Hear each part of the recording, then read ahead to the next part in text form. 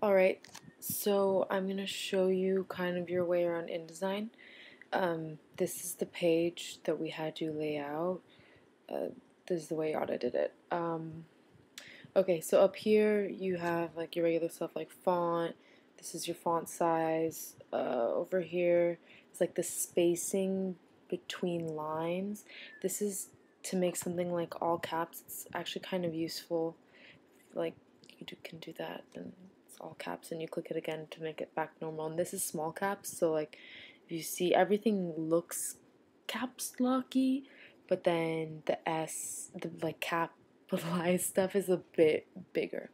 This is for superscript subscript underline and cross through. You you can do multiple ones at the same time. Alright this is for the spacing between letters up here is how tall the letter is. It kind of like elongates things. Um, this is like kind of a faux bold. You can make the letters fatter. And this is like a faux italics. You can make them lean. Um, over here is your general like, this is uh, like aligned left. This is justified left. So the difference between something that's aligned left and justified left is when it's justified, like the columns of text will be even. If you look at the text, see how the columns are just straight down. Like if, if I were to click this and hit align left, see how everything's uneven? That's why we do justify left, so that everything's clean and in columns. It's really nice. Alright, so if you go over here um, to this little paragraph symbol, um, this gets you your paragraph options. So the align stuff comes back, but then the kind of the only thing you really need here is the um, indenting. See how there's like that little arrow to the first line? That means that's like the first line indent and we do 1p6 or 1.5 picas because there's six like mini picas in every pica. Alright, um, color, this, this is pretty self-explanatory.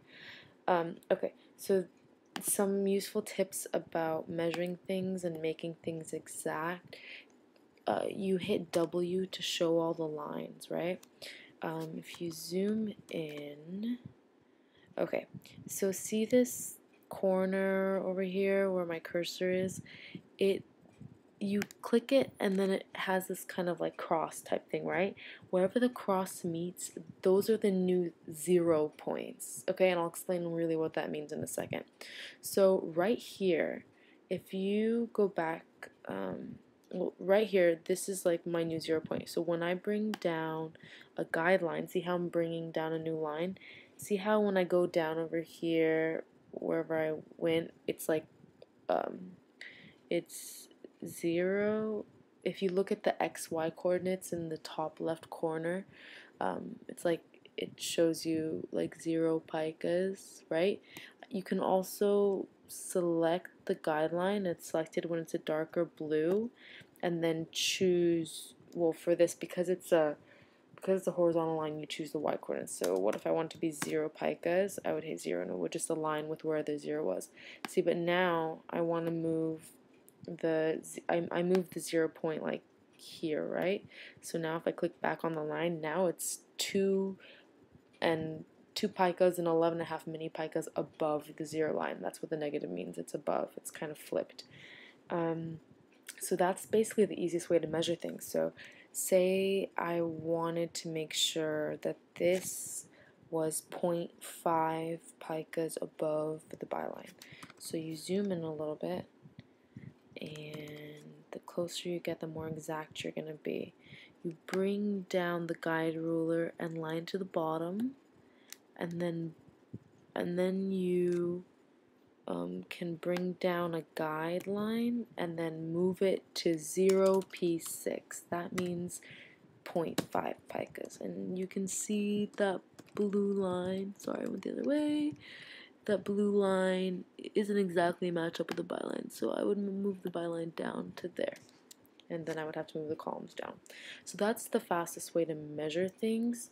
Um, you can also look at this ruler, these rulers on the side for um, guidelines, but it's kind of confusing sometimes. Like, look, it says 0, 2, 4, 6, 8, and that's the number of picas. But when you move in a little bit, it's 0, 1, 2, 3, 4, that's right, my picas. But then if you go in more, uh, alright, see how, where's my zero line?